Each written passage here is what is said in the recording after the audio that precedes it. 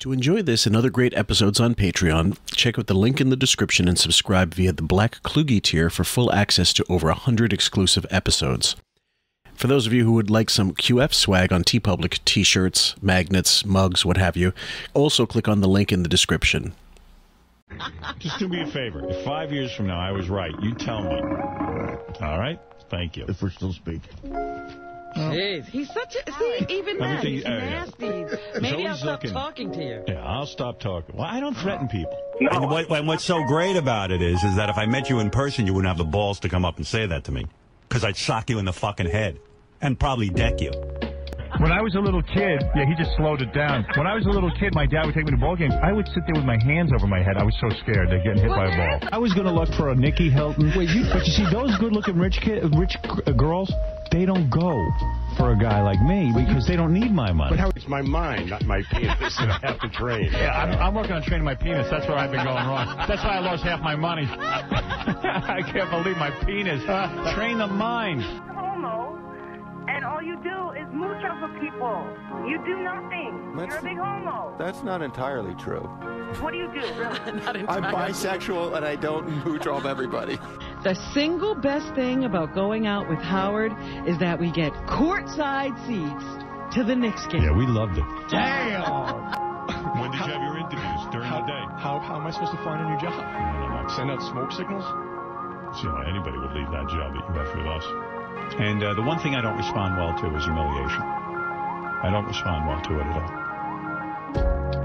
You know, I want to be told what a shithead I am. I don't want to, you know, this is, that those days are over. I've, I've suffered enough in this business. I don't need to, to find out what a shithead I am. But look at your hair. I mean, every curl was manufactured. It's terrific. And you're a radio guy. You're not even on TV.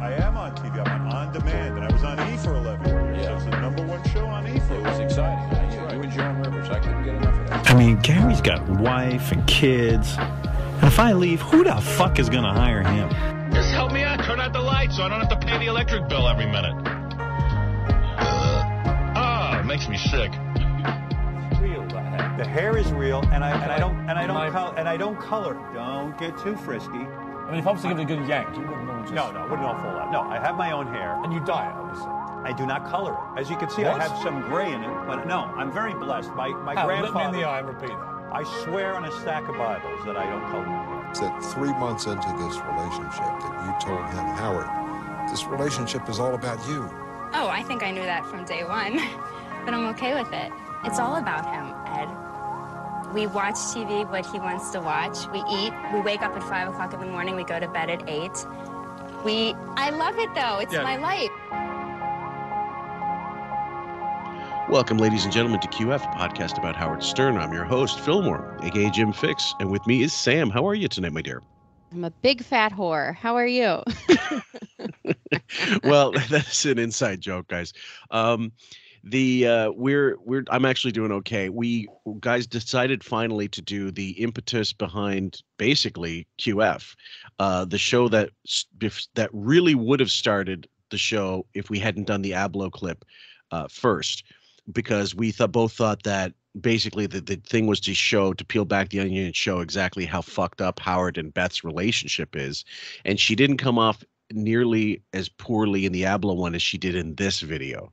So go ahead. Yeah, both, go ahead. both both have very unique qualities about them though where we're seeing something that one we never really saw again Mhm. everything was very uh it was very propagandized after that and Mhm. cookie cutter and you know he really made sure besides the king of all black clip the sal interview the ba- or the benji interview this and the ablo thing there were very rare occurrences and far and few between where you could catch really her personality Yep.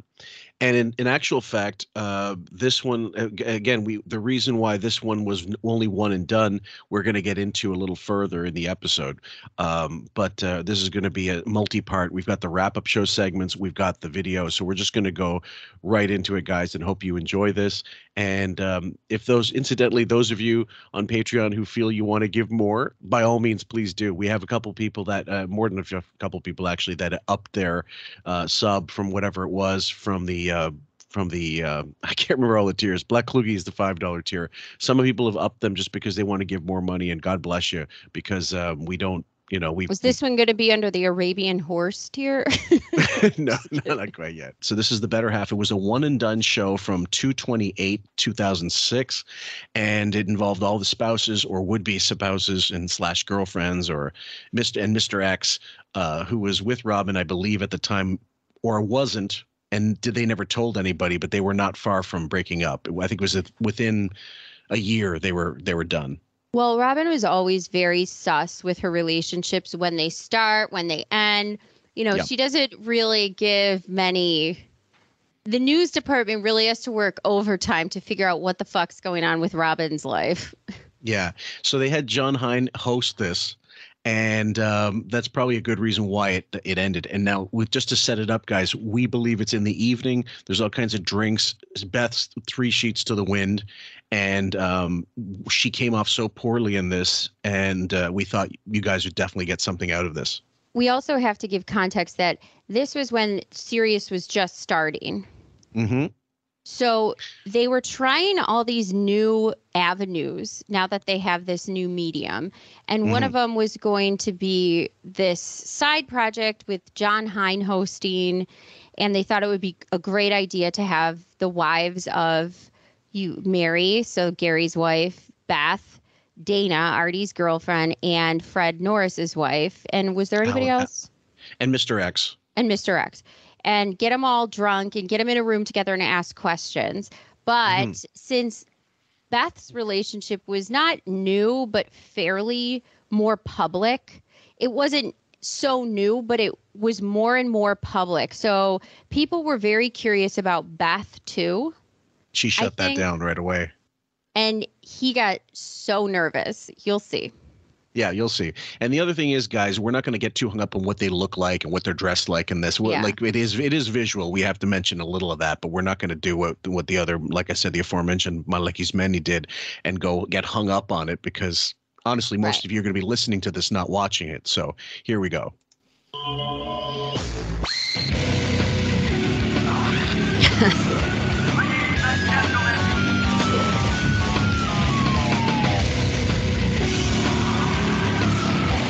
Uh, this is Jon Hein. I'm going to be hosting The Better Half. Where I'm going to talk to the better halves of uh, Howard, Artie, Fred, Robin, and Gary. Specifically, uh, Beth O, Mary Dell'Abate, Alison Norris, uh, Dana, and uh, Mr. X. And uh, we're going to be talking about what goes on in the show, but hear about it from their perspective. So uh, getting ready, and it's going to be a lot of fun. Hey, And we know, incidentally, that there is a huge hate on for Jon Hein. Kayla definitely wants to do some more Jon Hein material, and I'm like, people hate him. Like he's so they hate him the way they hate you know plain burgers, the way he likes plain burgers. He's not that interesting. He's not compelling. Do you think that he did this just as not even his job? This was an add-on. I think he would do anything that was asked of him. Mm-hmm. but I also think that he was really gunning for an interview angle that he wanted to be known as that type of host that he is a great interviewer hmm And do you think that the okay? The, we'll go through the whole thing, but before we start, what do you believe was the reason why this never happened again? Do you think it was more of a coordination problem, like they couldn't get all the people together again, or do you think they really just didn't want to do it again?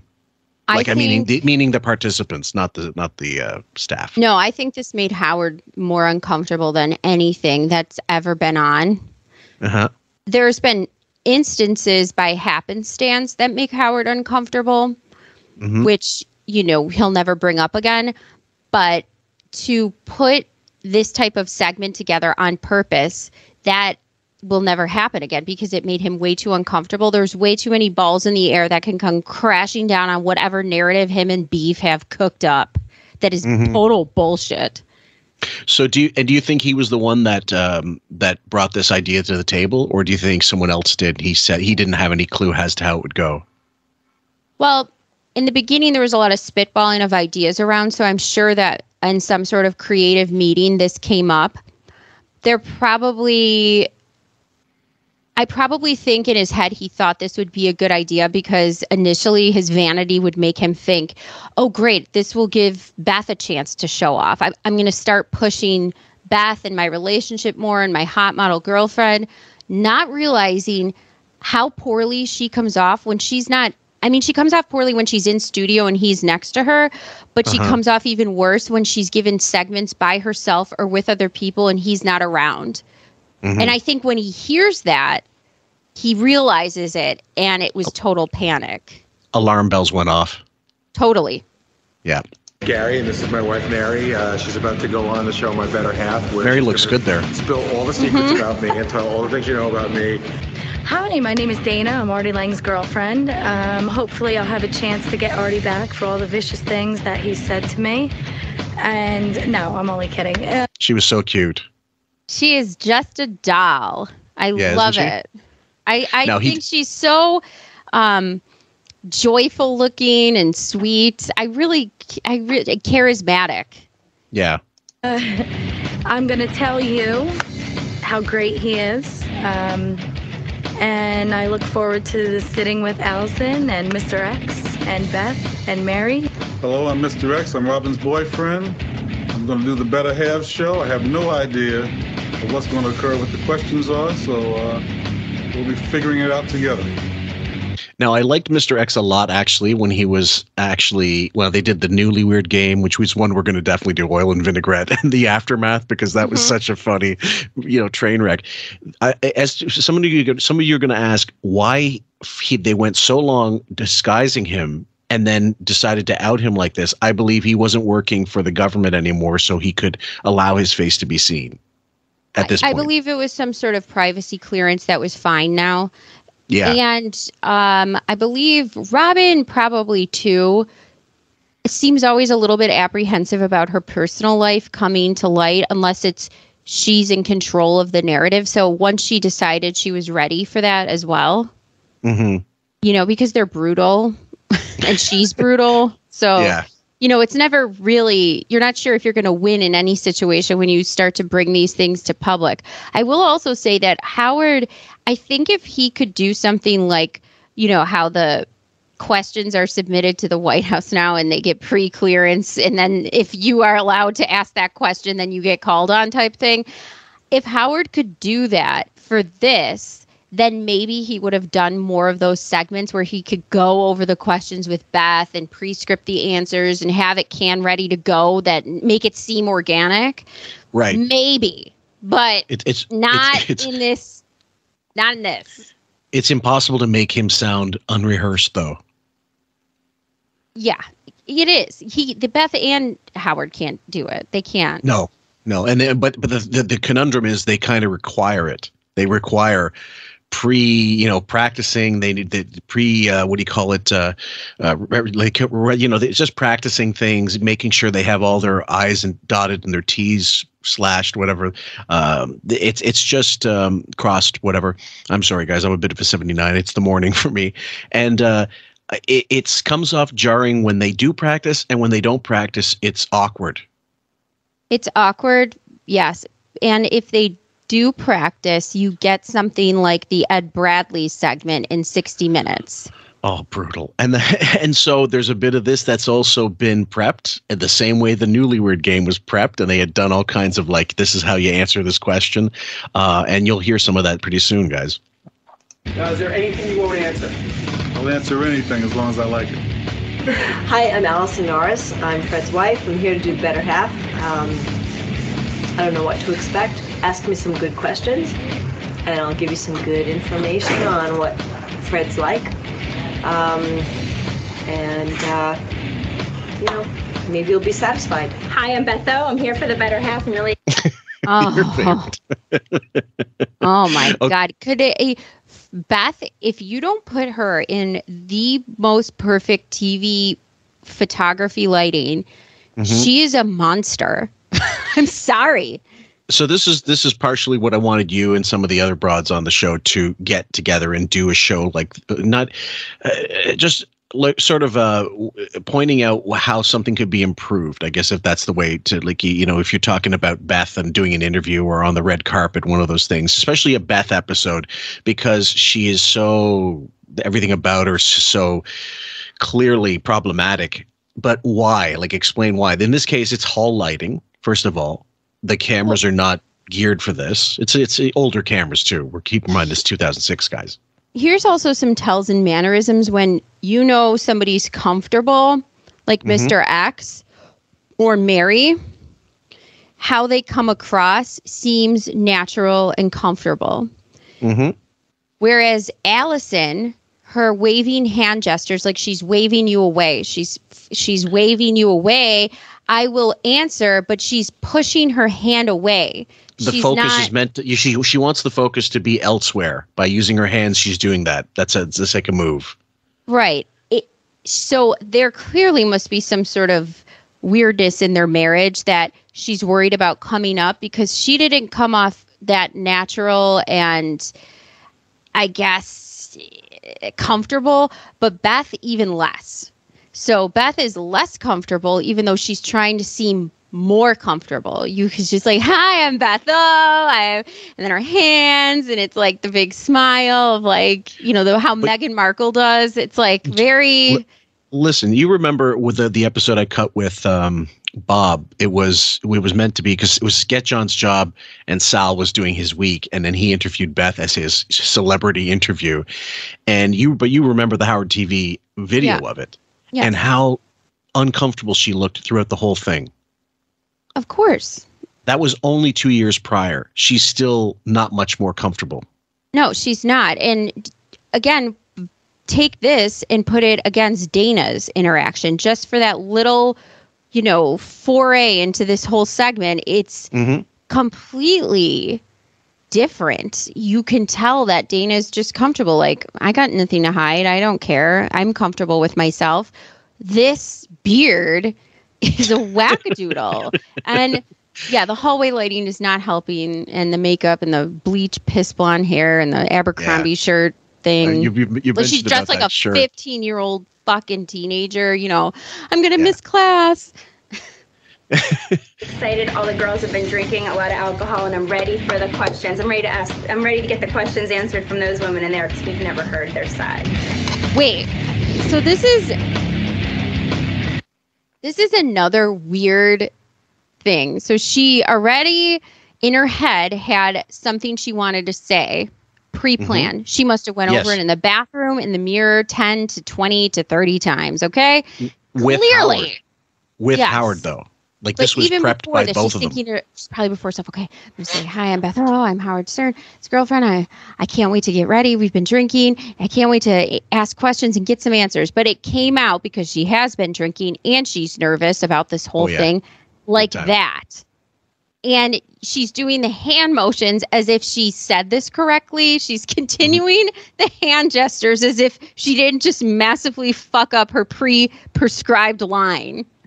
Go online guys and look at pictures of her and just you'll see just random beth beth stern beth ostrowski photos. You'll see her pointing her finger at things using these hand gesticulations. Like on the ellen show any episode with her on tv she's her hands are going all over the place. It's some you know who else does that? go ahead. Hilaria Baldwin. Same. Re- really? I don't watch enough i don't watch enough. I've seen her with the red carpet. Her hands are down by her sides most of the time If you see her on a TV show or when she does her Instagram videos of herself, where she Mhm. decides the world needs to hear what she has to say, even after Griffmas, Yeah. where she was out as a fake Spaniard for Yep. fucking decade, she does the same thing where it's pointing at the camera, waving her hands around, hands and fingers everywhere. It's so uncomfortable to watch. yeah Good evening and welcome to the Better Half. I'm Jon Hein, and with me tonight we've got Mr. X, Mary Dell'Abate, Beth O, Dana, and Alison. i love this soft jazz go ahead I feel like I feel like they're at a black communist meeting. Like, what are you doing? Like a like a black socialist meeting. And they're all like, "Wait, am I in the wrong place?" Right, guys, this isn't the green room, even though you'd you'd be forgiven for thinking so. It's a lot, and it's a room that never been seen before on the the Howard TV episode arc in the archives at all. It's something that when the you know the big promotion to get there happened, they probably had as like shitloads more space for Howard to use for his own his, his studios. But the the idea that you never saw this space ever again leads me to believe that Sirius said they used this one time, they never used it again. We're taking it back. Uh, you think, or it just Yeah, well, no. became Robin's closet for all Closet. the she left. blenders and stuff. So, and, and uh, as I said, guys, it's probably at night. Uh, it certainly appears that way. And if they've been drinking it, they're not day drinking. I mean, it wouldn't surprise me if Beth was. But um, uh, and Jon Hein eventually gets interrupted by Howard. And You'll you'll hear it eventually. But uh, Don't you think if they had a room like this and they did this better half and then they never really used it again, why not instead of being in studio behind your computer, behind your glass, behind the monitors, whatever the fuck, once in a while switching it up on the show and getting a headset and a mic and just going into a room and having a conversation with a celebrity in this sort of setting? Wouldn't that be in- more interesting instead of just not utilizing it? Well, he's he that that he can't he can't do that. Like he tried that in the ninety the ninety two interview show with you know Richard Lewis, and it came off so poorly because he was so clearly uncomfortable on camera with the guest there. Um, he was probably like that. That's never gone away. You see him on talk shows even to this day. He's Uh, he's boring and he's stultifyingly like uh and like if I I kind of wonder sometimes when he went on the Letterman show if he took some meds before he went on to kind of calm him down. Who knows? I mean, this could have been the nice breakfast room with all the ba- breakfast awaits you and the Bagels. bagels, but Yeah. eh. Yeah. The Norris. Now, the number to call is 888 Stern 100, and we're going to let all of the better halves have the mic tonight, and we'll get to hear the stories that you always hear on the show from their perspective instead of Howard's or Artie's or Robin's or Gary's or Fred's. I'd like to start just by going around the room really quickly, and if you can say who you are and tell the story of how you met your better half. And actually, we're going to start with Beth. Beth, we've heard it from Howard a hundred times. How did you guys meet? Jon, I have to say this is wasting up time because everybody knows how we met. That dinner party, the way Howard says the story is the same exact way that I, I will tell the story. We've said it in front of each other a million times. So waste of time on me. Let's move on to the to the gold. So there's no difference, nothing. No, I've heard him tell it, and I've said it. It's all the same. Okay. That for certain was rehearsed. That was something she t- was told by Howard to say so that A, that she wouldn't she wouldn't divulge anything by accident of them. She wouldn't change something that was different from the story they've been fucking foisting on the public for at this point 5 years. And so that he could get more from other people so the segment wouldn't be wasted on stuff, you know, that they're that's their own bullshit. this reminds me of when politicians are in some sort of scandal that's going on and it's an ongoing investigation. And so all of a sudden they decide to shut up and their spokesperson said we can't talk about this. This is an ongoing investigation. It's just like that's it. It's, Talk to the hand. yeah like you're gonna have um you're gonna have to uh refer to legal. You're gonna have to talk to the uh you know they're they they pass the buck they don't you're Well, yeah. you're just gonna have to i'm sorry i can't speak on this you can fucking speak on this she is so she was so ready to just Mhm. blow this off but it makes it like the dolt that she is doesn't realize that this sort of response cadence forcefulness and obviously prescribed tone tenor delivery it makes it so much weirder and more people are it's it's the Streisand effect where you're saying it like this makes everybody else think what is the deal Well, the the thing is, of course, she's uh, ho- like horribly.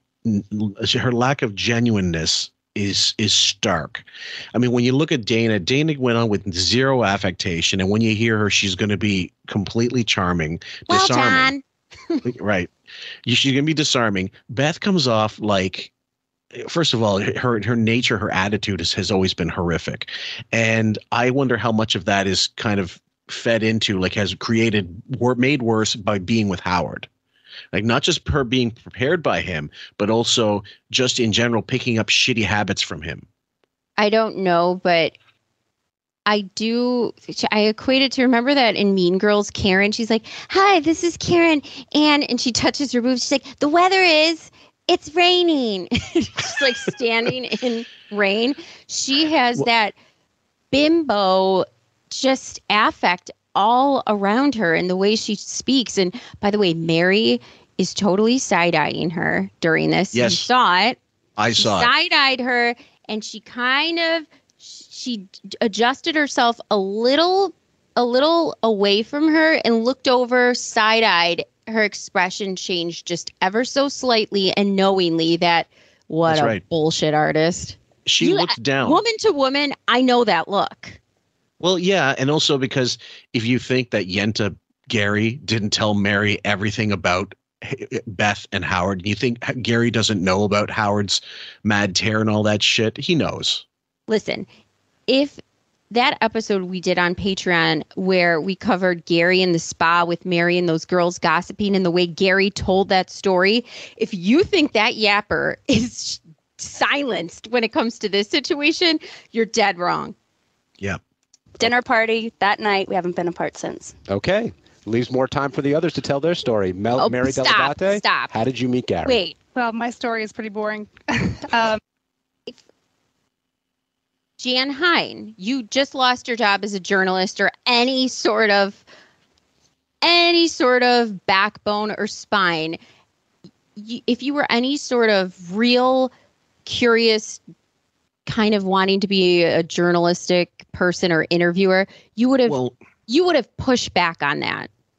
Well, he's he, first of all, he's not trying to be a journalist, and he won't ever try to be a journalist. He's his company man, as far as the the eye can see. But in, I agree with you in the fact that he could say, "Could you explain a little more about this, that, and the other thing?" I think beyond okay, beyond her being schooled or being uh, sorry, preparing and rehearsing for this question, he was told, "Don't push." I believe it was Oh. pre-planned that he was told, "Oh, okay, great. Well, we can talk about everybody else then." But yeah, but the way he said it so effortlessly in that transition, like, oh, great, we can go to everybody else. You're exactly right. He was probably given, read the rule book. You're not saying anything more about this than what's already being said. But if he had any integrity or cared about what the fans wanted to know, he would have said, He would have pushed. Well, I'm not going to, I just want to know who was at that dinner party. Yes. How long were you there? Right, and eventually the story eat? about the story about Cabby being there gets kind of lost to history, but you know, for the longest time, he's part of it. What time did he call you the next day? Yeah. What what was happening with your? Where did you live? What was that? The black dildo story? What your your fluent in five languages? What? Could you speak some of those languages now? According to him. I mean, come on. All right. Yeah. let's go. Gary was at a party that a publicist was throwing, and a friend of mine invited me there. It was after work, so um, we bumped into each other, stayed for a short while, and he asked if we wanted to go someplace else to have a drink, my girlfriend and I. And we did, and I was impressed because the next morning he called me at like 9 a.m. And uh, I thought that was really early and on the ball, but I didn't know he got up and started work at five. So, um, you know, and then we saw each other every weekend since. That's I would have never talked to somebody if I went out with them, drank, and they called me at 9 a.m. I would have never called them back. What kind of fucking maniac are you? I'm hungover. Let me sleep. I, think- haven't even had my Jack in the Box. I think a desperate Mets fan who looks like uh, he's got he doesn't have he, he looks like he's from the uh, background of let's say simian characters. And pro- probably back then too, you know, Gary had that cool job considering, you Mhm. know, all all things considered, it was cool at the time. Well, the, the thing is, Gary probably also faster talker, younger partier. She probably did a little bit of coke with him as well. Let's be honest. Um, he would have been that kind of because he he admitted on the air several times that he did. He wasn't a stranger to doing you know blow in the '80s the same way, and, and in the '90s. I'm sure until he got married, I'm sure he partied pretty fucking hard. In fact, they've talked about it uh, multiple times about how his single life was something to behold. I think the radio industry in general back then was just laced with cocaine everywhere. So Sure. Absolutely. And that was 15 years ago. Wow. That's very sweet. Very sweet. Mr. X, how did you meet Robin? I met Robin in a circular bar. We were sitting across from each other. The place was primarily empty. I was waiting for more action to come in. None came. So after two hours of staring at each other, I sent her a drink. I was prepared to leave.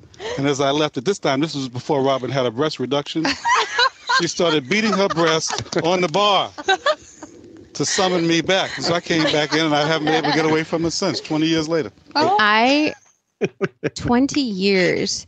This is such a interesting long relationship and this whole mating dance of so Robin was alone at a bar. He was alone at a bar. Okay, now I didn't realize because we'd heard this before and I've heard it, but I don't remember him saying that that the 20 year thing. Now that means he goes back to her in the 80s. Like literally that's 86, 87, maybe 88 even. which her breasts were huge back then. They oh certainly, no, there's no question. But uh, the way it was explained to me, I think by Robin, um, explain- I make it sound like she she called me personally. Sorry, I didn't. No, when was I- that? When was Yeah, the that way I- Fest? when did I get a chance to speak?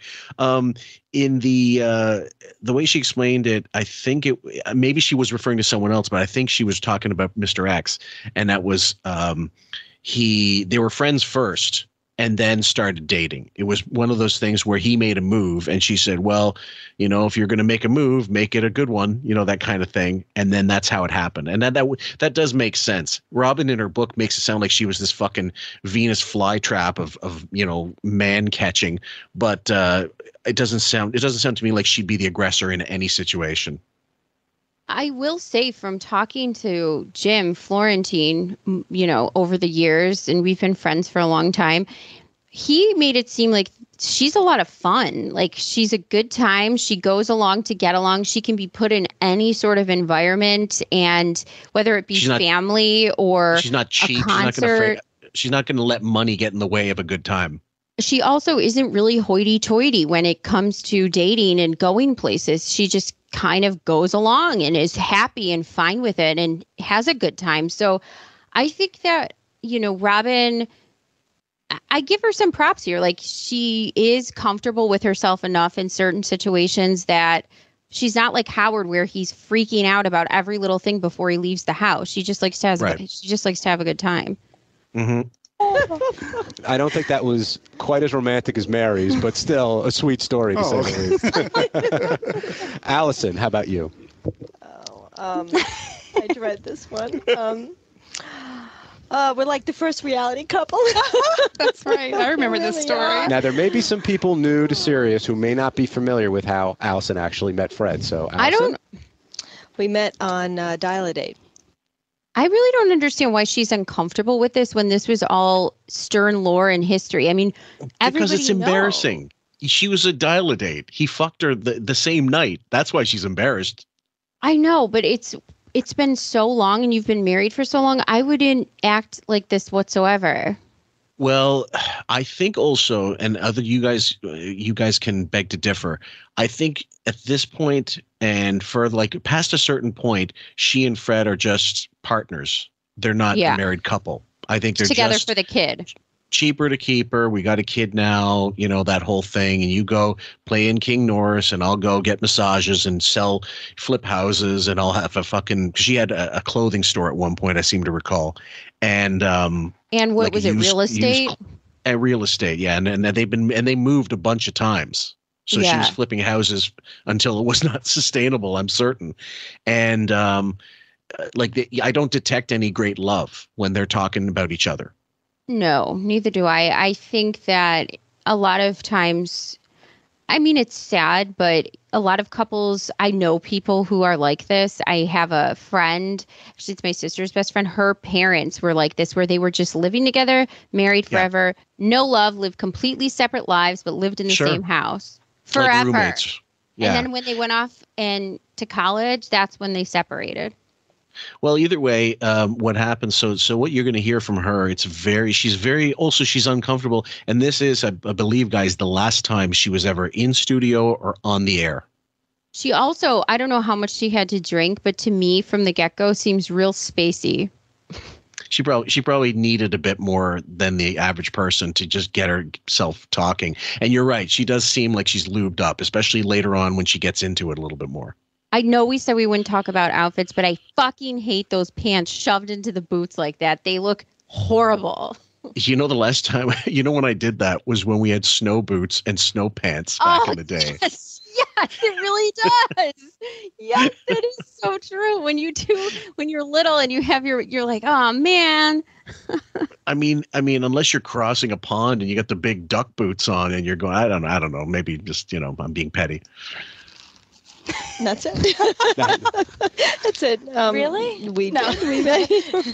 we did. We met 18 years ago, and uh, I, I don't know. I called into um, the Stern Show. It was on in the morning, and um, you know, I'm one of these people that just kind of like dares. You know, somebody dared me to do it, and I was like, okay, I'll do it. Why not? And I called, and I actually got through on the phone, which is so unusual to get through on the phone. And um, I was bachelorette number three, and to make a long story very, very short, um, my father was on the other line.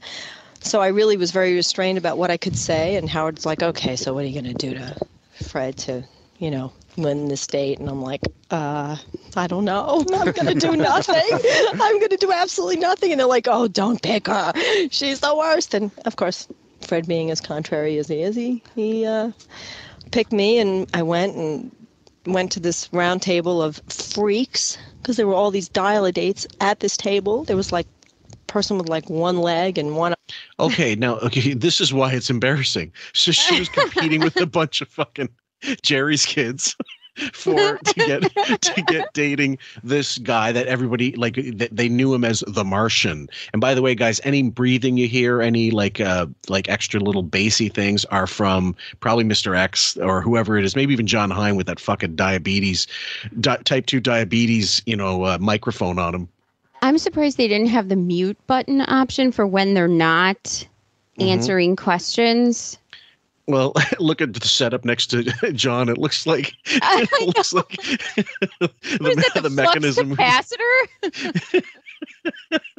it looks like it's straight off. It looks like it's straight off the original Battlestar Galactica. Anyway, I think that um, it, the other thing, like I said, she nailed him. Fred outed her later on the air. I think uh, maybe it wasn't originally stated, but uh, for the longest time, I didn't know this, but she nailed him. That he nailed her that night. Right. He she did. I think it's great though that Fred being contrarian picked the girl that he thought was the nice, sweet, prudish person and she ended up fucking him. Now, do you you saw the episode I cut with James about the uh, the uh, Tony and Tina's wedding? Like her jumping all over that, and I'd never seen that before. I found that video and I was like, "Holy fuck!" Do you know I would do you know what Rick would do if that that guy would have no legs? Well, what what what about Fred being there and Uh, That's seeing it? saying that. And not, He- and then he decide like I'm going to walk out, and then not also fucking throttling Howard for making an issue of it on the air, and not saying you don't fucking bring this up. It but he allowed it to happen, and he was like, I, I couldn't live with myself. I, I couldn't there is no scenario in my head where that would ever play out without him bum rushing that kid the second he walked in studio. There's none. None No, well, that, that was the that was the second part. That was the one with the guy coming in, and he had John try to make out with uh, Alison as if she's doing the part. I'm talking about the one where No, I know. they're, they're they're filming it, right? They're filming it. They they got footage of the um the actual production, but I'm acting. yeah like she was it's, it's she she came across to me and the way she was really unlikable in that whole uh, not that howard was but she definitely sounded like yeah i don't really give a fuck what fred wants this is my life and i'm doing it it was like a nancy sirianni type thing But Nancy Sirianni, even though, you know, we can think of her as laughably a joke in the music business or whatever, at least she had some sort of talent ish. You know, she did have some musicality, right? And she was doing this before she was doing this before Jackie. Uh, yeah but it doesn't make her any less of a social climber than alison I I think Alison is more. There was no way that Alison was thinking about acting until she oh yeah Oh yeah, it was definitely one of those things that now I've you know it's manifest destiny. I've now I've I found the golden I found my Wonka's golden ticket. I know. I knew what I was supposed to do with my life, be in Tony and Tina's wedding. anyway, we're gonna continue, guys. I and mother daughter dial a date, and I was completely bombed. I was so drunk and nervous, and I remember saying to my girlfriend before I went, uh, "I just have to get through this evening, and I'm done. I don't know what I got myself into." And How was many years later are 18, you? 18. Wow. And we actually talked all night long. And before we looked around, this is the honest truth. There was nobody there. We were like, "Oh." I believe that. I do think, though, it's really weird that your first acting job you take when you're newlyweds is that role. Why wouldn't you be more considerate in taking something else? I'm sure opportunities would have been offered to you down the line. You don't have to jump at the first one where you're fucking basically, you know, getting felt up. Well, if you'll if you'll fuck on a first date for a dial a date just to get on the show and to meet Fred and whatever, I think you'd do just about anything. And that's why I have less respect for Alison than I do about Nancy. Nancy, at least, yeah, she was putting herself out there. She was performing and stuff. Okay. But this was, it seemed like Last Chance Saloon. Like, this is my, I'll take the back door into Hollywood if I have to. Well, what what a short-sighted dunce. I mean, why would you jump if Fred is your bag in your entryway into this industry, you're going to jeopardize your marriage and maybe end Yes. it possibly over Sure. some dumb role in Tony and Tina's wedding. Well, I might be like overthinking it, but I, I I believe that initially once she start once she got in tow with him, she did realize he's kind of a loathsome human being as well in his own way, and that she she um regretted. It was like buyer's remorse. She got into this thing, and now she's like, okay, I can use him for something. Now they have a kid. They're stuck together. You know what I mean? And she knows what's the option: divorce, and then what? Well, I don't see Fred as a particularly enjoyable social human being. No, God, no. So, you know, he marries her because he probably doesn't want to deal with going out and trying to find this on his own and socializing the entire process of dating. So, Yeah. you know, I think they both mutually Settled. at times despised each other and regretted it. Yeah, I, I believe so. I mean, you guys, do you guys tell us your your thoughts in the comment section, please? Oh my God, everybody left. You know, the, the little guy with no legs, he walked out. You and Fred talked all night long. I can't believe that. Believe it or not, and he hasn't said another word since. Here we go. Okay. And last but not least, Dana, how did you meet Artie? Um, I was a bartender in Hoboken, and Artie would come in often for lunch. I worked a lunch shift. Um, and then at night, he'd start to come in. We became friends. He was like, believe it or not, the only like sane person in the bar amongst all these other drunk animals. And I was just so happy to see him every time he came in. And um, we really became friends first. And uh, the night he finally made like his first romantic gesture, he gave me his phone number. And I was working on the rooftop bar in Hoboken. And that night, he gives me his phone number. I put it in my pocket. I see him from the roof walking home with this blonde on his back.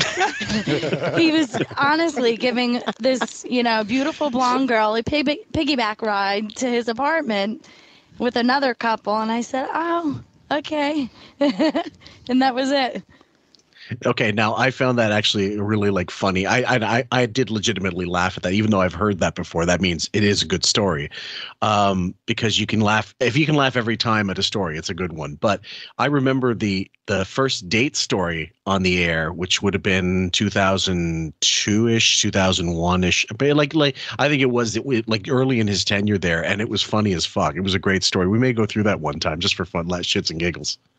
My immediate reaction as I looked at myself when I'm watching this on camera is I'm smiling. It's because you feel when she's telling the story, one, it's genuine, and two, there's warmth between them. Yes. Do you know You what I'm saying? Well, you don't get that from either of the other four. No.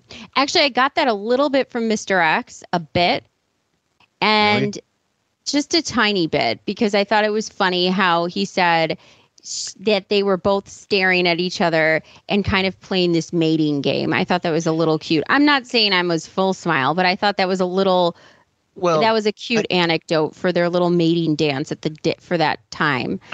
But Well, I, yeah, I think I think he's a tough he's a tough read. He is and maybe the toughest uh, because he wants to make everything a joke, and people like that. And I'm I'm I'm similarly like that. Yeah, it takes uh, to cr- to crack my you know armor, I guess, and start talking about things. It takes a little longer, um, but uh, but not like that. I mean, he he he definitely. and on the other hand, can I expect anybody to be warm about Robin? I don't know. But the other reason is because both Mr. X and Dana are the only ones that push themselves forward and tell their story with genuine confidence and Mhm. they seem to be nostalgic and sweet about it. I mean, Mr. X less so, but the others don't. They seem evasive and perturbed and a little pushbacky about it. I I don't Well, the, the other thing is Marriott with with was with Gary. Like, uh, let's see, they got married. If it's 2016, uh, but I guess Mary's with uh with Booey roughly the same amount of time as um uh, Mr. X is with Robin, according to him, and so she's heard like she knows she is way deeper into the show than Artie is, and she knows the shit that's behind the scenes. And she hears it from Gary, and Alison's the same in the in the same exact boat. Like she knows what this show is about, and she doesn't want really have anything to do with it. Why they agreed to do this is some kind of. I, I'd love to know what it was that inspired them both to like. "Yeah, This is a good idea because Alison, after the Rainbow Room, in, sorry, after Fred's bachelor party, I don't think you ever heard her on the air again until this point. no. And it She also she was pissed. they used to go to those company picnics and stuff, but then, you know, they really faded off until all of a sudden this, which you're right, it is a real weird cataclysm. No, I, I think if it, the way it was was Alison was pitched this like, uh, hey, you know, you'll get some drinks, you'll get together with the spouses and talk about the show. I think she welcomed the opportunity to maybe talk shit about the show in her own subtle way. I also think it was there was a lot of appearances for the openings of Sirius and the press and the coverage was if you remember at the time it was nonstop and there was a lot of events going on for this. So Oh, yeah. I think Promo. that needing your wife's support was part of it because I remember seeing them at certain parties and certain functions. So there was more of a camaraderie as this was all unfolding and taking place. So I think maybe they felt more comfortable in this new space and Mhm. trying it on because it's not the same as the other show. Maybe, maybe that was it. Maybe it was a like a, a not a pardon the expression hail mary, but a uh, Cl- you know like a cleanse what- of the palate. Let's see what this Let- let's see what Right. this is going to be like. right. What's the difference going to be going to this place exactly? So, but anyway, so he came back in and he was a little persistent, and I still adored the man as a friend. And then we got romantic, more romantic. So I forgave him. How soon did you get romantic? Um, that next night? No, I'm only kidding. um, no, a little while after. Okay. But so you forgave him for the blonde on the back. yeah, was- because he, you know, he was a single guy and I was a single girl, so you know. Invasive Beth, this isn't your show, bitch. And I don't know who told her that she's a co-host. And Yeah. by the way, wow on you, Beth, for you said, don't ask me anything. We can move on. Yeah. But you think that you can now suddenly take over the reins of the show and ask Dana, how long before you fucked him? Basically. I mean, Well, yeah, that, it, it, well, that, that, that's exact. There's no other word that describes her. I'm sorry. In every, sorry. yeah, no, you, I mean, uh, you, I'll say it first. Well, it's fine. I I use I throw that word around like past the salt. But um, the uh, the problem is, again, it, you can get away with what Beth was just just did if you're likable. She's never been likable. And if you're open, Yeah. if you started saying we can move on don't ask me anything it's just what Right. howard said You sli- you slipped into Hil- Hillary speak there for a second. i know i just fucking ugh What is, what is it? It's gr- the grift speak is infecting you. No, like I think that in in any event, what happens with uh, with a, a situation like this, also there's a bit of jealousy, like subtly, like subconsciously, there's a bit of jealousy that Dana and Artie are a legit item. Like at this point, they seem like a real couple, and you got to be thinking, wow, what's that like to really date someone and, and not have to worry about fucking your p's and q's every goddamn minute of the day. What's it like to tell a story when you first met someone? Because I can remember my first time meeting Rick, and I will tell it with that same genuine emotion and love and fondness every fucking time because that's how I felt. You could feel that coming off of Dana. And I think that Beth wishes, and you're right, is jealous that she cannot and doesn't No. have that. She does not have that can't I- Genesis story. she can't say he picked me from the Dubai beard catalog, and uh, you know, like you know, that's just a fucking some Australian guy. right. I was at the tail end of a fucking chic gangbang, and and you know, I, I got a there was an ad in Penny Saver, and I answered it. So here we go. But he made this romantic gesture. He gave me his phone number, I guess, finally, after having all these conversations and stuff. And anyway, I had to clear that up. Okay. Well, now we know all the stories. Let's get to some of the questions. And the first obvious one I think would be how, and feel free to chime in as we go at any time. How often do any of you listen to the show? On what basis? Alison? Oh, as much as I can. I mean, um, it's a little dominated by Nickelodeon and, and Dora the Explorer, considering the radio's in the one room with the television is. But I try and listen all the time. I Dana, love, how I about love the you? show. I'm sorry. Dana, how about you? Um, well, I teach, and I'm usually in school by 7:15, 7:30. So I really, you know, if, if anything, try to listen for the first hour. But since the move to Sirius, I'm I'm not connected yet, so I haven't heard anything. How are you not connected? Well, because Okay, for fuck's sake, like this. You're right. This is like, this is Mean Girls assholedom. Well, you heard in the beginning where she said, I can't wait to ask, but she said answer the question, but she meant Yeah. ask the questions. Uh, right, right, right. What gave her the impression that she was asking the questions? Who put her on that level in her head where she felt superior to them? She she well, first of all, she's the boss's girlfriend. I think that's part of it. But second of all, he directed her to ask questions. But did Jon Hein understand this? No, I don't believe so. Because it it is coming across so fucking rude. Mm-hmm. Now it may just be drunk Beth being a fucking obnoxious jerk. Um, that that's just as likely, I suppose. But it would not surprise me if Howard, it, way in advance, said, "Look, you look, you're going to be doing this. I want you to get some dirt from the people and ask whatever you want. It's fine. You're my girlfriend. They're not going to say shit." And that was how, it. How are you not connected? Uh, who cares? It would be a boring story anyway. Right. And the other thing is, Like we really need to hear why the wires Because in your car aren't hooked up. Who gives a fuck? because your fucking beard assignment won't give anybody free rep memberships that belong to the fucking you know part of the show. Like we have to pay for it. Yeah, we don't have a staff to install it. I'm a teacher. Did you hear me? I work full time and I Yeah. bartend, so I have a second job. You fucking hoofing cunt. Now, who knows if she was still bartending at the time, but it, they, that's absolutely like uh, one of those things where she probably on the side to make some more money. Yeah, absolutely needed to. My Sirius radio is sitting at the bottom of Artie's closet, right next, right next to the TiVo that I got him not too long ago. So the two of them are sitting there, and So glad you That's asked that question, Beth, how about you? I don't listen to the show. Not at all. Oh, if occasionally if I'm getting reports that something is going on that's talking about me or something else. so if it's concerning me, I listen. the ego much? The narcissism is off the charts.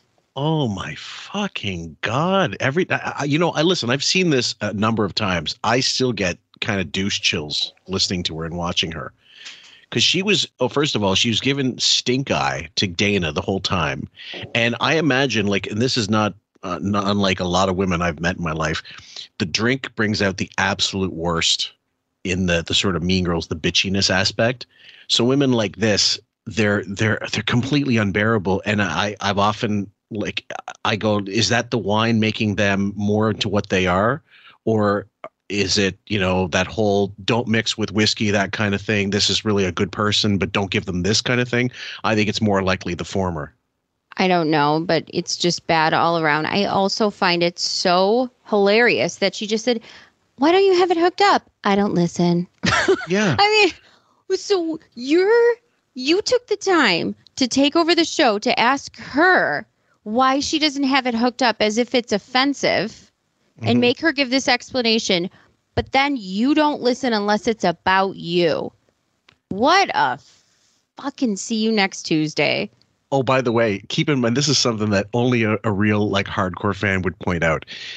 They she gave Howard shit about his him wearing his wearing his boots on the carpet in their house, right? In the Ablo segment. Look who's got their shoes on the fucking chair. Which I fucking that? loathe. I just fucking loathe when people do that. I mean, if it's your own home and uh, you're wearing, you know, slippers or something, I get it. Okay, but someone else is someone else is going to sit there. that sitting is such a position of entitlement. That way that she's sitting with that fucking shoe on that chair uh, tucked under her leg is such a clear sense of entitlement and spoiled brat. Yeah, well, maybe she can't cross her legs because there's a cock in between. Anyway, I let's don't keep know. Look, look, based on what I'm seeing in front of me, you're you might not be far off. Yeah. I'll tune in. I'm going to ask Mary and Mr. X, but first I got to go back to it because both you and Dana alluded to it. Do you guys get like 84 messages on your cell phone if something happens Yes, relating 85. to you? Mm-hmm. So instantly you know what's going what's going I usually call Howard's assistant Laura to see what's going on, and then I tune in to hear the conversation. Then I either call Gary back or I don't when he leaves a message on my. Does anybody else who has this sort of scenario happen call an assistant to find out? Could you imagine if Laura's doing something in the middle of her day for Howard and Lord knows what is on that to do list and she gets a text or a call from Beth saying, What's going on on the show? I heard it's about me. Well, Let me okay, wait, Beth. Hold on, honey. I'll find out for you. Fuck you. So not only are you a self-absorbed piece of shit, but you're also admitting you don't give a fuck about your husband's radio show. Just turn it on. Yeah. Just turn it on. Instead, you'd rather inconvenience somebody who's making way less money than whatever he's giving you. Yeah. You're going to inconvenience their day to find out and play telephone for an hour. You fucking. Bitch. you just get I can see the steam Oh. coming off the off oh, your, the, off the your sense forehead. of entitlement of this. And she's sitting here like a spoiled little brat, like Meadow Soprano, you know? So- Except for Meadow was a teenager. I can accept that. well, so is Beth in her mind. Voicemail. So it's almost like an instant alert. For Instant you. alert, yeah. Alison, how about you? Yeah, same thing. I actually, you know, there was a while when I was not listening for a while because I just couldn't, you know, my spy, I, I just couldn't deal with listening, you know, people calling in. And I just said, you know what, I'm not going to listen for a while, but I love the show. that was that sounded authentic. I like how she just said my spies and then cut off. she didn't cut it. You're right. I noticed that too. My spies. So she has friends listening to the show, and that would inform for her. Yes. the fucking As they all did. Norris CIA. Art, Art, I always loved Artie's impression. He goes, he goes, I, I, you know, I love that secondhand information that gets to Dana from the from the girls that work in the salon. Did you hear what that monster, that that big disgusting monster said about you? Well, Alison Norris, I could just see the drunk Jersey wine moms. Oh my God, Alison, you should have heard what Freddie said today. Well, she actually, I, I think I'm not mis- if I'm not mistaken, isn't she from Long Island as well? I don't know. I can't remember. I have to go back on that one. This like, we're talking way, way back. Even James and Raven might know, but um, that's that's major trivia. But anyway, uh, but she goes, I but I love the show. She that was the save. She knew she had to add that. She completely fucked up and had to put that ad on that little that little Yep. nice ending. I thought she was from Tony and Tina's wedding, that amazing production. Yeah, really. Da- Dana? I, I have to say, I um, especially this week, I get a lot of phone calls. I really do, and I respect that. And I think the feedback that I get from my friends has been pretty consistent with with what Artie says happened.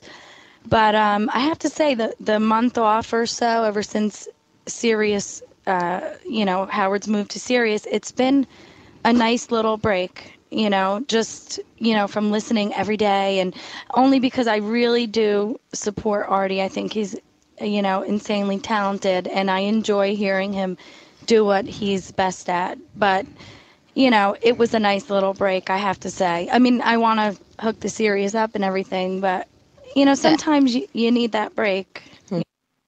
See how she, by the way, just gave that gesture. I I'll hook the Sirius up, and she nods and looks over to Beth and puts her hand down, and she nods her head in a knowing fashion, saying, "I'm acknowledging your point that my radio isn't hooked up. Thank you for embarrassing me in Mhm. front of the group of people and the listeners to make it seem that I'm not supportive."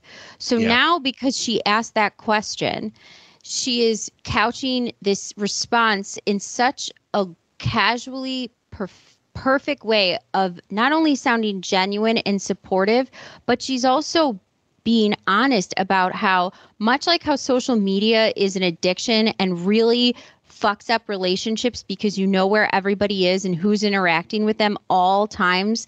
This is like the foray into that if you're somebody like Dana where you can turn on the radio and you're hearing things that maybe you necessarily aren't going to make that isn't necessarily going to make your mental health better or your mm-hmm. relationship better because it is a lot of time just comedy or a joke or maybe it is the truth but you want to have a conversation person to person not on a radio show and hear it secondhand or firsthand from that sort of medium just like the way people don't really want to see or read or hear things that are typed out on social media. I think it's similar. So you turned it off for a month, probably for your own mental health. But Beth had to make that cunty comment about why isn't it turned on or why don't you have it turned on? So this is a perfect ladylike response. Amazing. You know, I, I think you guys Absolutely. can attest to Mary, that. Mary, do you listen? I listen. I, you know, I have two boys, and um, you can't listen now at all with Sirius. You never know what you're going to hear. Right. So um, I listen less than I used to. Um, How often did you listen when it was on terrestrial radio? You know, I listen to it sort of coming and going. You know, when I'm going here and there in the car, at home, not at all. So I, I don't know. At the most, an hour a day. Well, you can understand it for a number of reasons. Number one, Alison and, and Mary were both mothers, and of young kids especially. So, and and yeah, and I know that Mary's a do nothing mo- mother, like she's the tennis lesson mom. Um, but but you know, and and I understand it's not always feasible, but because the show was on early in the morning, now with the Sirius, okay, you can catch the replay, but it may not be her cup of tea to tune in suddenly one day and hear her husband getting fucking berated and treated like a five year old by her his asshole underpaying boss. That's what she's not wanting to say. She's wanting to say, but she can't say, obviously. That and who wants to hear their husband, you know, setting up the Sybian for the next ride? You know, it's all too. encompassing. Yeah. Plus, you're right. She got into the mom mode, but not only the mom mode, she got into the nanny, waspy, Connecticut housewife mom mode, where that requires Eventually. a lot of Yeah. I drop my kids off to school, go get my nails done, go to tennis lessons, go to brunch, go home. Yeah. but mm-hmm. often not at all. Like last week, I didn't hear it at all. So anything leading up to today, I haven't, you know, I'm not really that aware of. I heard a little bit of the Dana Artie business. Do you have people reporting to you? People report into me, and usually it's wrong Again! because I think my sources are not very good or something. but it's like telephone, so you know, sometimes I'll call Gary and he'll be like, "What?" and it was so off base. So I try not to do that. She can't help herself. She can. And it's so strange to me that they've all been here besides Dana way longer than Beth. Why oh, didn't anybody have the gumption to say, Do you have spies? If it were me and I were Mary and I've been there way longer than you, honey, and knew Alison, the wife, and know the whole scenario, Gary has mm-hmm. spilled everything. Yeah. I wouldn't take this shit for a second. I would say, Do you? Immediately.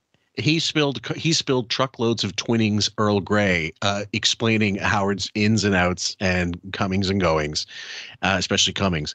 And uh, like she if, if this is the thing I'm also uh, cognizant of, Mary has the protection of not being Booey. She could say what she likes. Howard's not going to say dick to Mary Dell'Abate. He's not confrontational in that way. He would make Gary's life a living hell as a result of something like that coming out here, but she's protected. But do you think, okay, my question to you, do you think Gary, because clearly the side eye initially when Beth answered the first question the way she did, and we Mhm. saw that obvious physical response from Mary, how she yeah, it was it was completely involuntary.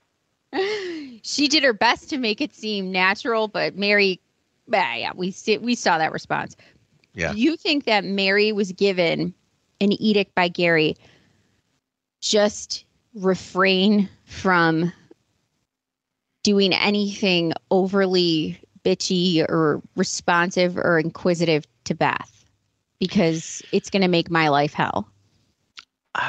That's a good question. Uh, I like see that, that the question really what what you're really asking is do I think Gary is smart enough to be proactive and tell her this? And the answer is no. I don't think Booey would consider. I think he also maybe innately knows that Mary, if he's she's not going to defend Gary at a spa, she's not going to be the one to confront uh, Beth about anything. Okay, so then do you think that Mary is savvy enough to just innately understand that this trollop is going to be disrespectful, make some of us uncomfortable, but ultimately it's not worth pushing back on? Uh, yeah, exactly that. Because the other thing is, uh, Mary goes back, let's see, 92, 90, early 90s, let's say, when they were dating before they got married. So she would have maybe known Alison or heard Alison, like spent some time when they had staff stuff, uh, if they had any staff get togethers. And uh, who knows what Alison would have told her about Howard.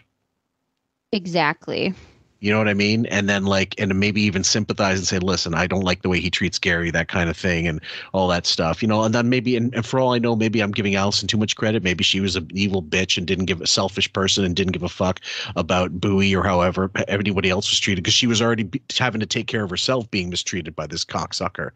Um, but uh, I'm talking about Alison Mary Howard's wife, I know. obviously.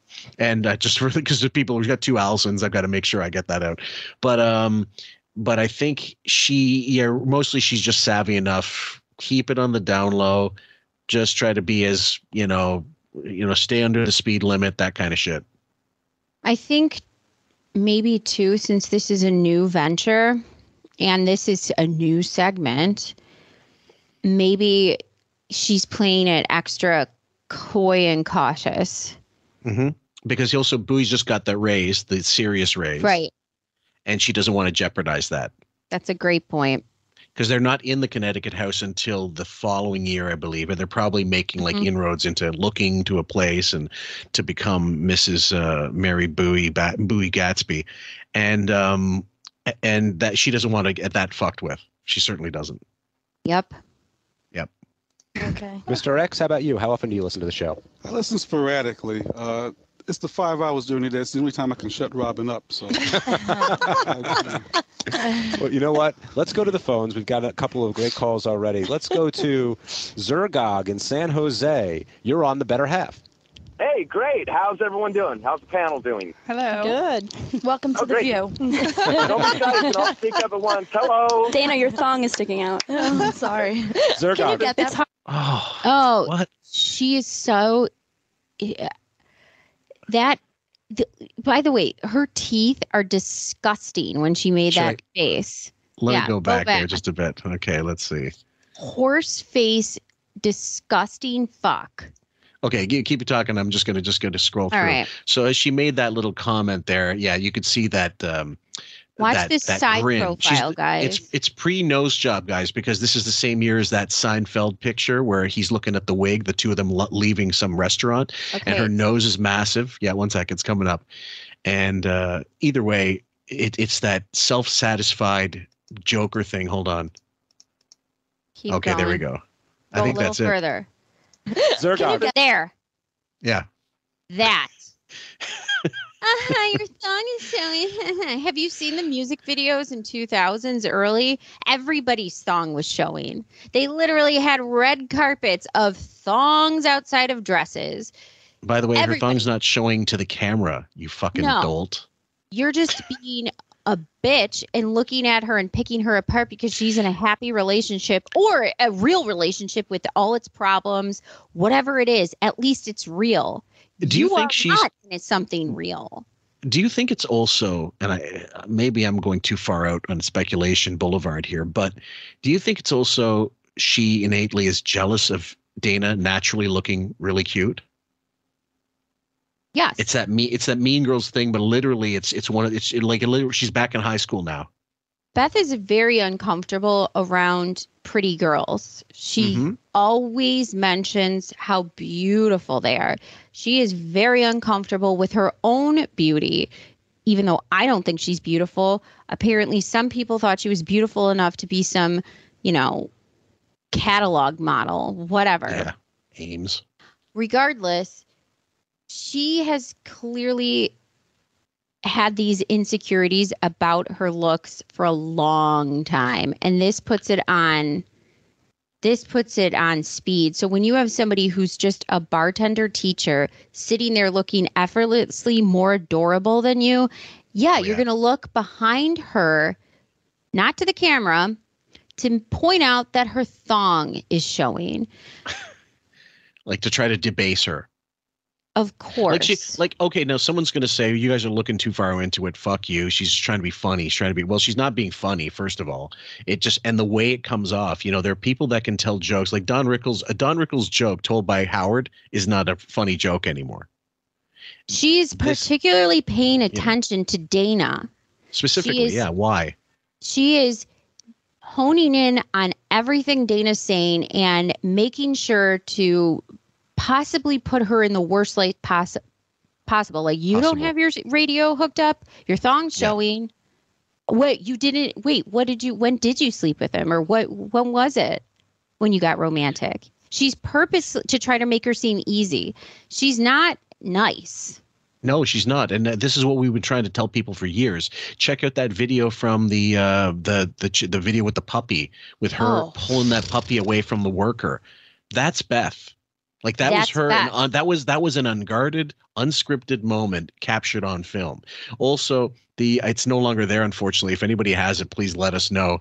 The video of her with Al Roker saying Howard's a pussy, and Mm-hmm. that big grin, that massive grin of hers, like, and he goes like "Cat." now.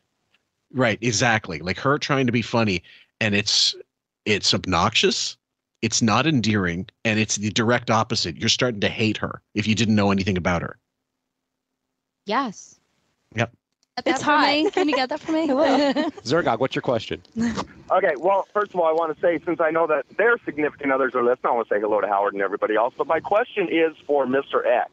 And Mr. X, I there's probably no real nice way of saying this, but I do mean this out of respect.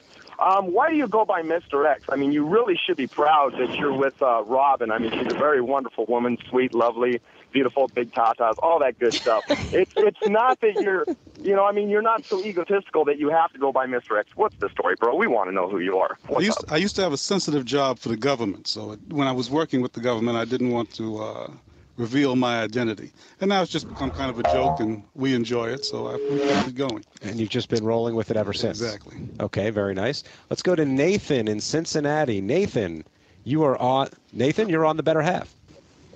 Hello. Nathan, you're on the better half. Oh, sweet. Oh, hey, what's going on? Uh, I got a question for uh, Mary Delabonte. Go Keep ahead. drinking, Beth. How's it going? I'm good. How are you? No, I uh, I wanted to know. Like, uh, Gary always strikes me as like kind of a kinky guy. You guys ever uh, he ever call or you ever call him uh, Baba Booey in bed? Well, that's not my idea of kinky, but um, you know what? I'll do it for you. what if what if he uh, what if he's having an off night and you know, you know, Now, this is what I find a little disturbing. Beth, the whole time this question has been going on, I've been keeping an eye on her, not Mary. She's been eyeing Mary up and down the entire time. And mm. now she's looking at her like someone looks at a fucking zoo animal. And it's to me, it's disturbing. It, it's it's a way it's it's just really really off putting. She is finding ways to observe them so she can come up with ways to cut them down in Yeah, debase them. at some point. hmm That uh, that has to be what it is, isn't it? Like she's doing a low rent Howard. She is. She's reading them. Shit's rolling downhill. Oh, we lost him. Oh, bummer. No. How about you? Did you do that on purpose? No, I didn't. Mr. Actually. Kinky. Actually, I didn't. But uh, yeah, I don't know whose idea of kinky that might be, Mary. No, but he brings up an interesting point. Not the kinky part, but the Baba Booey part. Does that bother you? Like how Gary's always referred to as it with Sal's songs and everything else. How do you feel about that? well, the Baba Booey thing I think is cute. You know, they call me Mrs. Booey sometimes. um, no, I mean, I don't like, you know, we went away with Sal over the summer. We went, Heineken took us to Amsterdam and to Paris. And I never met him before. And I thought when when Sal got the job full time, I said, Gary, you have to quit. How can you work with Sal? I mean, he's just impossible. He's rude. He's so mean. But um, I learned to like him a lot. He's a really hilarious guy. So, you know, Gary has a hard shell, and I try to have a hard shell and not Anybody that can give Gary shit, I'm sure she's more than happy to fucking bond with, and that would be Sal. Yeah, she loves She loves it. I mean, if she didn't say anything in that uh, spa, Right. No, she loves being the top in that relationship. for sure. Yeah. let it bother me. So, you know, and I turn it off if I don't like it. Now, in the past, Howard's gotten on Gary pretty strong. I think a lot less recently, but beforehand, he used to beat him up pretty good. How'd you feel about that? I feel bad. I could tell when Gary's taking it hard and when, you know, he's letting it just sort of brush off. So, um, you know, I think it's gotten better. He's been a little bit, uh, you know, kinder to Gary. So thank God for that. Howard's so happy at Sirius that I think his whole demeanor at home has just been he's just been floating around in, in bliss land. He's so think- happy. I think everybody feels that. I really do. So this is I am going to come to the defense of my bag, Howard. Yeah. And so he's floating around in Blissland. Everything's wonderful. He's not Did a she- fucking asshole. She did sound like she was coming off like a little fairy pixie going through, like, yes, it's wonderful. That, that was a little wistful, right? You know, Beth's fairy tales, Grimm's fairy tales. Um, I think that. Um, I'm trying to think of 2006. Just did, did was there any drop off in, in shitting on Booey? I think it was worse than ever because number one, guests were not as uh, readily available for Sirius, and he would get pissed off. Remember the Rachel Cunter thing? Yep. That was Mhm. that was the first month of Sirius. Then we covered the Rolling Stone. Um, God, what's his name? Rob, she- not Rob, yeah, Rob Sheffield article, and he was Yes. butthurt about that. Then the Mary Jones thing that I covered with Bob. That's going to be uh, wrapping up soon as well. Um, And he the was- uh, what's, was- he what's his face? and- The um, what the the other other one? journalist, the New York Post or the uh remember uh uh, the English one? I don't what did I say? Oh, that was that. one- Which oh, which one was the um, the one about uh, him stealing a line from Johnny Carson? Yes. I believe that was 2004, if I'm not mis- No, no, that was that was 2006. You're right. That was him going. I'm going to go back to that. he told that story on the air about wanting to go back and be like Rambo. Beth had to hold him back. so he was he was more sensitive than ever, if anything, going to satellite. He was not. You know, that's something that should have given him some kind of security. This big bump of money and shit. It, if anything, it made him worse. He's floating around. He's just been so I like how she had to cut into her anecdote. Howard, she's she Howard's been in Blissland. We're talking about Gary. Yeah. Hmm, so All right, let's take another call. Sal. Brian in New York, you're on Sal. the better half. Hey, how you guys doing? My question is for Alison. How you doing, Alison? Hi, how are you? Good. I want to know when you and your husband, the kids are in bed, you're going at it, you're having a great time, it's late at night. Are you screaming out Eric or are you screaming out Fred? What's your name? My name is Brian. I'm screaming out Brian. Oh, come on. Eric or Fred?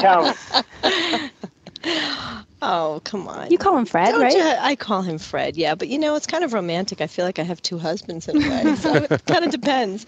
Um, I call him Fred. You see, the one thing that you'll pick up when this airs on on demand later is the look of dread and fear when the call is like everyone's excited for the call to come in, but then the name comes up and there are four sighs of relief, and there's one like, oh my god. I'm surprised no one's asked Dana about her situation. Actually, Oh. What a fucking what a fucking horror. She pushed her too, and she, I would have slapped her. God, that would have been there would have been a foot to the face at some point. Because I think the the other problem is, guys, like these are all quote unquote spouses, girlfriends, w- I think as they call them, wags in England, wives and girlfriends. Um, but what it is is they at this point are sort of on the outs. Like it, it- Dana and Artie were always insy outsy, so this is one of the down times when they're not really together for some reason. Because I think he's back into heroin, and it's not long before he does the admission on the air. But man, look at that fucking bitch smile. And she wanted to bring this out so badly that she couldn't even wait for a caller to ask. So is imagine her- just- She is imagine her- just evil. Imagine her at the wedding when she's drunk fuck, and imagine her at the birthday bash, Oh, I, 2013. I love Chevy Chase even more. yeah, and people are asking, "Where's that audio?" it's You know- like God, it is the Holy Grail. It is the Holy Grail. I, if this were a Real Housewives show, and this wasn't, you know, this probably is the original Real Housewives, mm-hmm. but if if this was a Housewives reunion of some sort, that person would have got up from that chair and pummeled Beth. Yes, absolutely, without any fear of retribution from, you know, King Baby, No, they would have gotten more money in their next contract. big time. As Beth segues It's gonna kill me. The question for all you guys: I'm so happy. Um, when people learn who you are, do they treat you a different way? Like, are you treated a certain way because you're on the Stern Show? And I mean that in a positive or a negative way. Beth, you're sort of out there in the public. People see you, you know, already. so, well, but you should answer the question too. How do people, how do people deal with you guys in again a positive or a negative way? this her face waiting for this question anticipating Smug- this because you smugness. fucking know she was waiting for something like this is so smug. And it's so yes i'm special and important. I wasn't but now i am. But i did have a modeling career. I'm super educated. But thank you for asking Jen. i am so important. It's so different. I'm Did we not- hold on. special. I Hold on. fucking hate Did- her. Did we not cover the FHM thing where she says, "It used to be tough to get tables, but now I say I'm Beth's, gir- I'm Howard's girlfriend, and with tables just open up." Yes. I can't go on a walk anymore. Everything's different. The Knicks games, we get free Knicks games. Oh, oh, that was my favorite one. Howard doesn't pay for anything. we get free everything. you fucking freeloading horse. Now listen, one of my favorite books, uh, Bob Geldof's, is that it, the uh, there's a the one of the band members of the Boomtown Rats said that- was asked a question by a, a journalist, and they said, "What's the best thing about being famous?" And the guy literally just went and said, "You can get into other people's gigs for free," and it was like there's it's not it wasn't he he did it spontaneously just saying look it was all these things you used to have to be such a hassle to get in to see a, a band perform now all of a sudden you can be backstage in a guest thing because there's certain he was just being honest about it. The but there's a difference between being legitimately honest spontaneous sincerity in other words and someone being a little smug and pompous about it the way she is Being an entitled, humble, bragging bitch. Yeah, I'd say so. right you're not winning any fans over Definitely different when I go shopping. It's almost annoying. People cater to me, and it's. Um, There was an instance where there was a really popular bridal company who was treating the bridesmaids horribly, but treating me like a queen after they found out who I was. And so we called them on it, and I was really, it was a whole thing. But yeah, I'm definitely treated differently. It's almost annoying. so she had to be the Mary. noble knight Oh yeah, she's such a fucking hero. Hero to the people, Beth. Look at Mary. Mary glanced over at Dana, and I guarantee if the camera zoomed out and we saw Yeah, we had a Dana, Dana shot. was it was a wide shot of Mary and Dana glancing back and forth, and Alison and Mary glancing back and forth. This bitch has no idea how horrible she's coming off. Um, I felt really bad, especially when I'm shopping.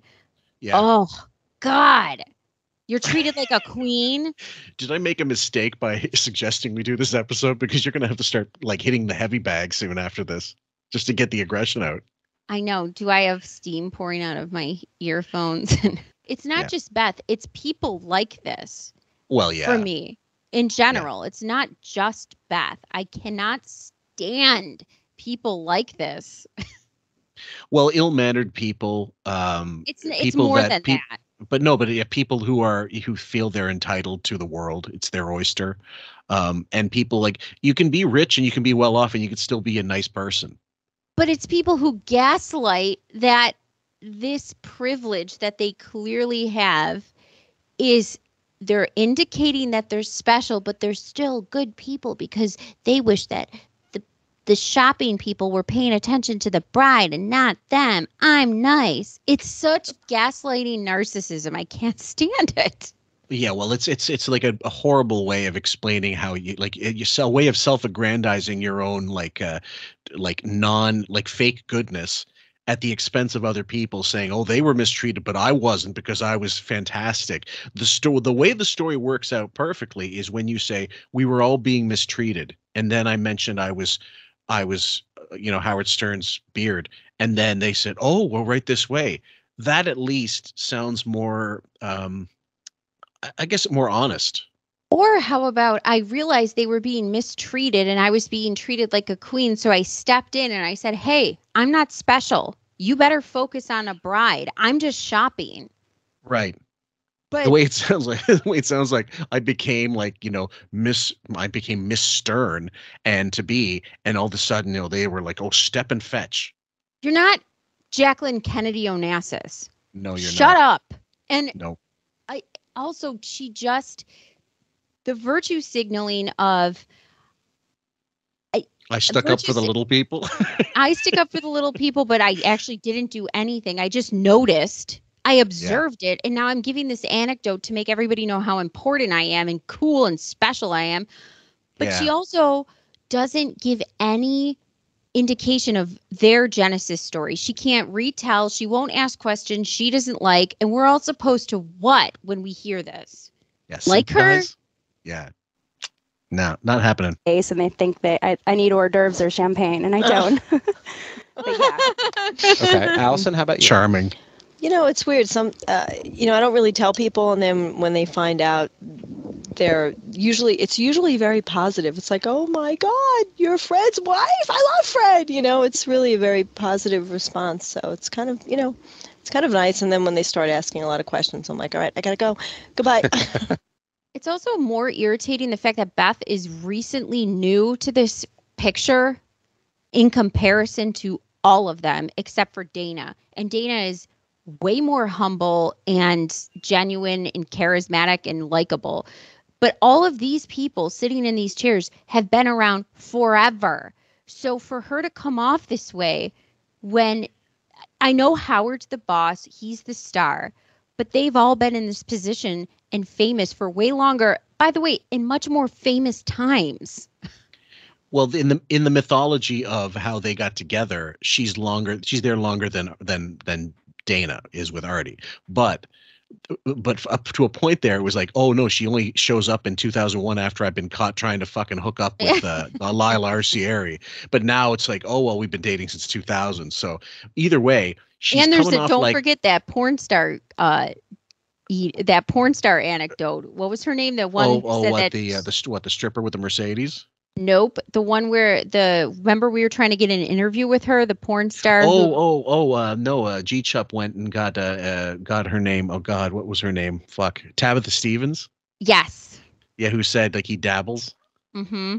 in, uh, you know, ACDC. Well, here's the thing. Beth to me is coming off like there never was an Alison. I, I'm the first wife. That's the that's what's that's the, what's disconcerting about this. But we grew up with like listening to Alison, uh, you know, Howard's first wife, as being the kind of counterpoint to his bullshit. And when you lose that, like I don't think he quite understood exactly what he was losing, not just in the divorce, but in the show when he didn't have Mhm. that foil and that little bit of conflict. So when you all of a sudden, you know, what's that expression Jay likes to use? Uh, iron sharpens iron. Now that doesn't happen anymore. Now it's just a blunt fucking show, blunt knife. The show. It's a blunt spoon with knife. It And really is a brick off of a top of a building like Marvin Home Alone, right Yeah. to the forehead. You there is Yeah. no there is Push nothing. back. pushback. There's nothing. It's a fucking brick to the head. There also, now that you mentioned Alison, it is weird to me because I have a co-parenting relationship and I love me a stepmom. I can't imagine somebody speaking like this and you're married to my ex-husband. You don't even talk about the kids. You talk about the most vapid shit. Yes. You what? You have somebody with three kids. This is you what you're Al- talking Alison's about. like? Do you think like Alison's like Susan Sarandon and Stepmom? oh man, I don't know what I would be like. I I just what a dunce. Well, yeah, it's it's it, you, you can't imagine. Like you say, what was the what was the line she said? We've already named her Bimba. Yeah, and I think remember Richie Wilson said there's no love lost. No, none whatsoever. That's expression. I care about the right to shove an eel up a girl's vagina. Yeah, in China, in China, they can't videotape a woman getting shot up. Coyote fucking. That's what we have. Why did we fight the Revolutionary War? I think it's obvious, so a woman can fuck a moose. In the pages of Oslo. England under King George never had moose fucking. What do we do?